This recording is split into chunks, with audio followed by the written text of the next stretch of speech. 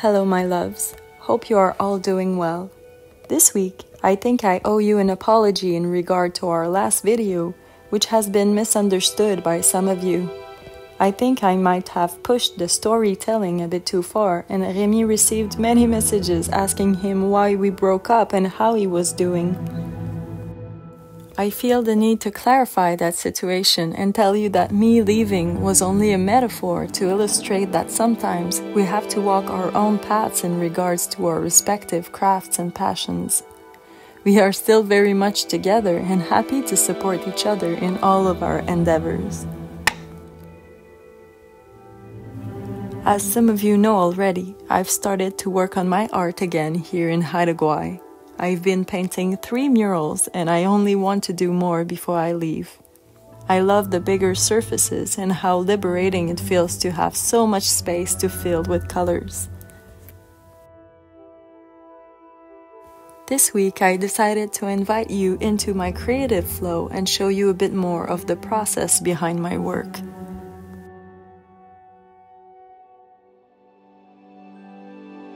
It actually never involved art in the beginning, at least not mine. My process starts outside of myself, into the world. My best ideas sparks when I live an interesting life and when I push the limits of my own comfort zone.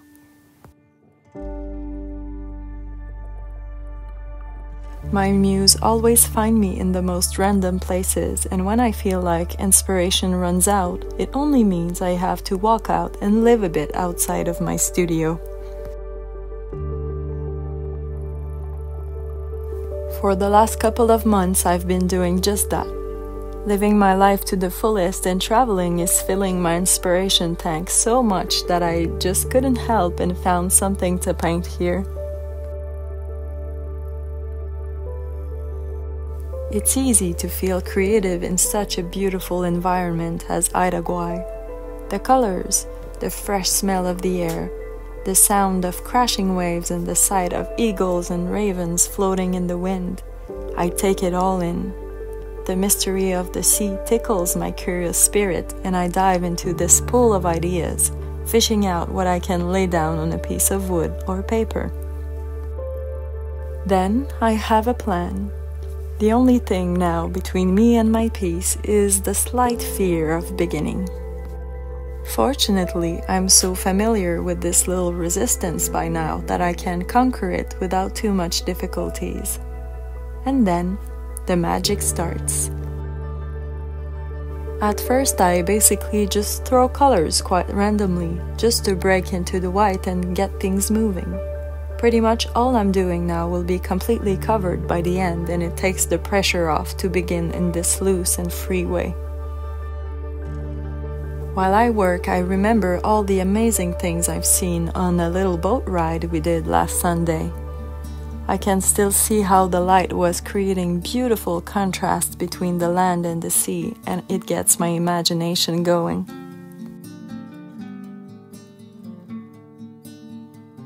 Soon enough, it takes the lead, and I find myself in the zone. I can spend hours in this state. My entire attention is focused on value and colors, composition and brushstrokes. This feels like home to me, and it is truly my happy place. This wouldn't be possible without these memories I collect and treasure they are what builds my artistic muscles and they are what gives meaning to my art.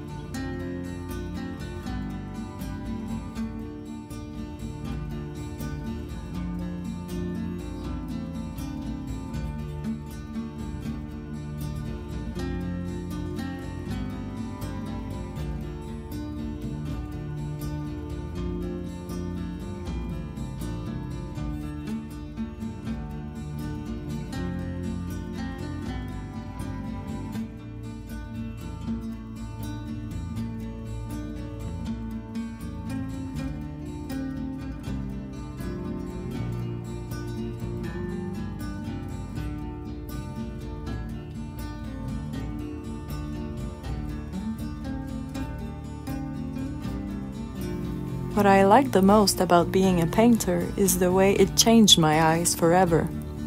You don't see things the same way when you want to paint them.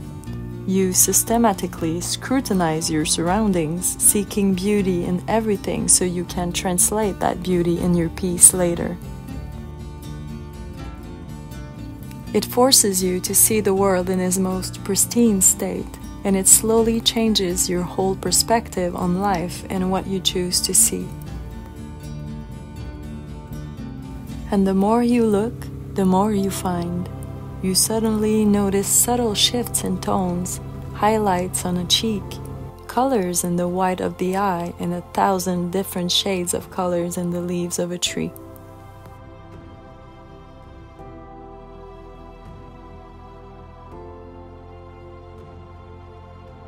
The world is amazingly intricate seen through my eyes, trained by years of making art. So I can say I owe my creativity to the beauty of this world, but I also owe all this beauty to my creativity. They fuel each other. And they make me do my best work, both in painting but in living as well.